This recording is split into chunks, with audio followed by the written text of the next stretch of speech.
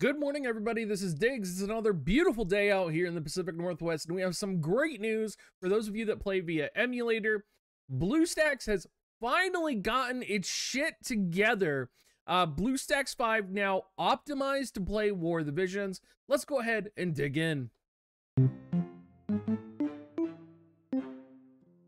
So this is going to be a pretty quick video, but this video is pretty important for a lot of people who care about playing on PC and playing on the optimized version of BlueStacks.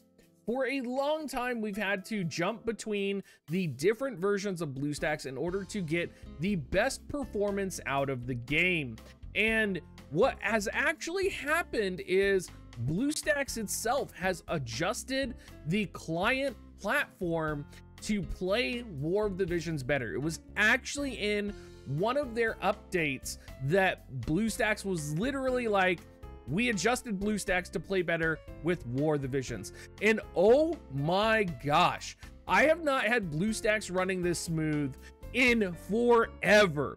Like we're talking like not only is it running reliably at 60 FPS, it looks buttery smooth. There's no hiccups, there's no stuttering, there's no crashing. As far as I can tell, all of the problems that I have had previously with BlueStacks have been completely solved at this point, and that is absolutely incredible. I didn't even think this would ever actually happen.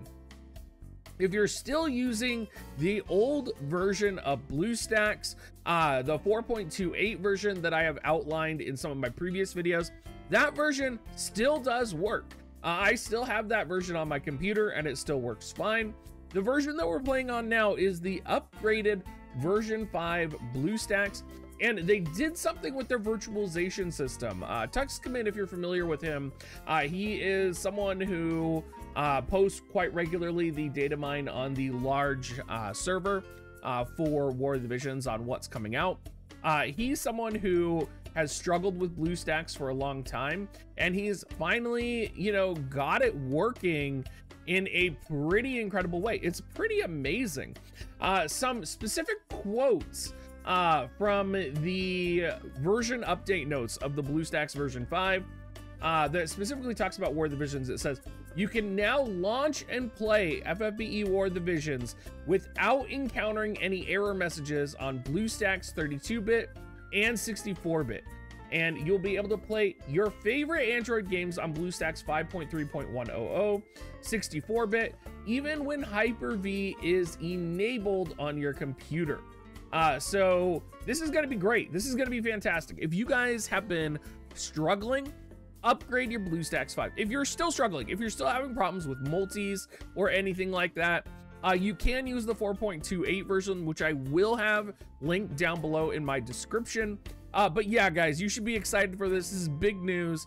Lots of people should be excited. And oh man, it looks buttery smooth. Like I might just leave graphics on from now on because I don't have to worry about it crashing my game. It looks nice. The performance is great for other players.